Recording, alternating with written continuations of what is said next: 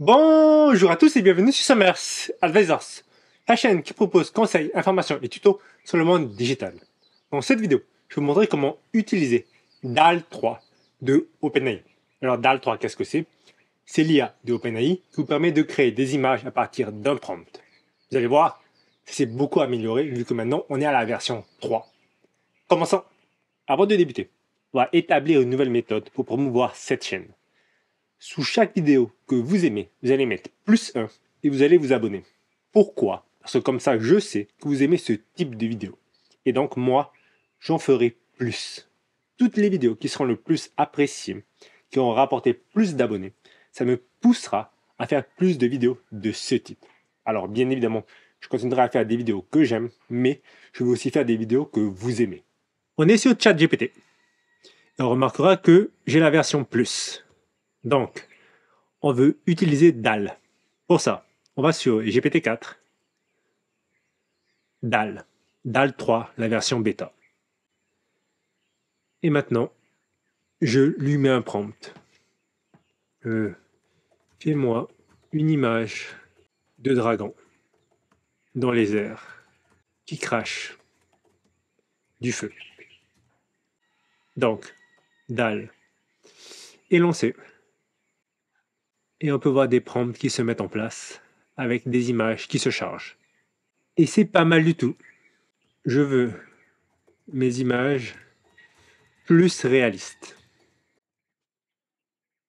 Donc, ce que j'aime bien, contrairement à d'autres créateurs d'images avec l'IA, on peut parler en fait avec ChatGPT et il nous crée nos images. Donc, chaque fois, il nous donne quatre versions avec le prompt pour créer l'image. Alors bien, c'est pas mal du tout. Donc maintenant, on va aller un petit peu plus loin avec notre test. On va demander de créer un logo. Créer moi un logo pour la marque. Alors je vais créer une marque, je vais l'appeler euh, Cocotier Royal. Tu pourras utiliser les initiales CR donc pour Cocotier Royal dans le logo.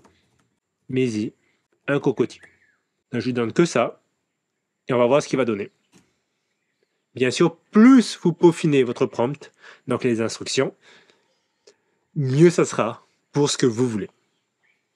on va voir maintenant le test d'un logo avec DAL 3 de OpenAI. Et franchement, c'est pas mal du tout. J'aime beaucoup. J'aime beaucoup celui-là. Alors, si euh, une image vous plaît, vous cliquez soit dessus pour l'avoir en gros, et après, vous pouvez utiliser ce, ce symbole en haut à droite pour télécharger. Et bien sûr, vous pouvez aller sur les différentes images en bas. Voilà, très bien. Donc maintenant, on va aller un peu plus simple pour notre test et on va voir comment faire un être humain. Maintenant, fais-moi un être humain. Juste le visage. Donc, une partie difficile. Une femme. Blonde. Et il faut que l'image soit réaliste. Donc, le plus proche d'une photo. Donc, on va voir ce que ça va donner. Alors, je suis pas sûr que ça va être très bien fait, mais c'est pour ça qu'on est là, pour faire un test. En fait, j'aime beaucoup qu'ils nous mettent ce prompt ici. C'est vraiment, franchement, c'est très bien. C'est très bien fait. Ça a été très, très bien pensé par les développeurs de, de DAL 3, je devrais dire de OpenAI. OK. Alors, c'est pas mal de tout ce qu'on a. Alors là, ça, ça ressemble à un homme. Donc, il s'est trompé en bas à gauche, mais les trois autres, c'est bien. Alors ça fait un peu trop 3D, ça fait pas très réaliste pour être honnête. Mais ça se rapproche, notamment celle-là. Si vous utilisez DAL 3, n'hésitez pas à me laisser en commentaire ce que vous avez fait. Et si c'est très bien fait, n'hésitez pas à me laisser les prompts, ça peut m'intéresser. Donc très bien. Donc on a vu pour les êtres humains, les logos et la création d'images.